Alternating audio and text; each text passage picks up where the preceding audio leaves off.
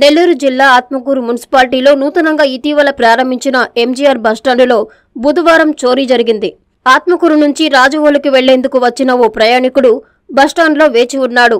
ఈ క్రమంలో ఆ ప్రయాణికుడు మందులు కూరగాయలతో పాటు బ్యాగ్ను తన వెంట తీసుకెళ్తున్నాడు. దీన్ని గమనించిన ఓ దొంగ వ్యక్తి ఆ బ్యాగ్ను దొంగతనం చేసేందుకు ప్రయత్నించాడు.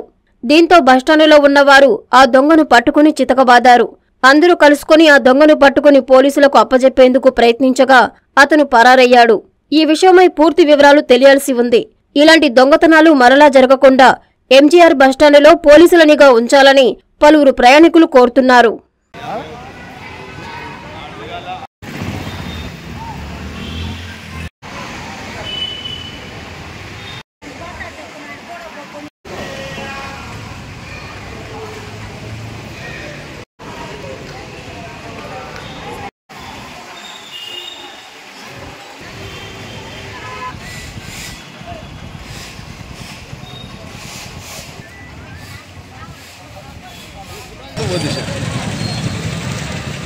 Doctor Ramaswamy super speciality hospitals కావలిపట్టణ మరియు పరిసర ప్రాంత ప్రజలకు శుభవార్త. Doctor M Ramaswamy trauma spine కీళ్ళ మార్పిడి స్పెషలిస్ట్. మోకాళ్ళ మార్పిడి తుంటి మార్పిడి ఆపరేషన్లు చేయబడును. విరిగిన ఎముకలకు వెన్నుపూస ఆపరేషన్లు అత్యాధునిక పద్ధతుల ద్వారా చేయబడును. Doctor P. పుష్పిక గుండె ఊపిరితిత్తులు షుగర్ అండ్ రుమటాలజీ వ్యాధుల వైద్య నిపుణులు. Doctor T. Sudeep Yadav general మరియు ఎండోస్కోపీ అండ్ లాప్రోస్కోపిక్ సర్జరీ నిపుణులు.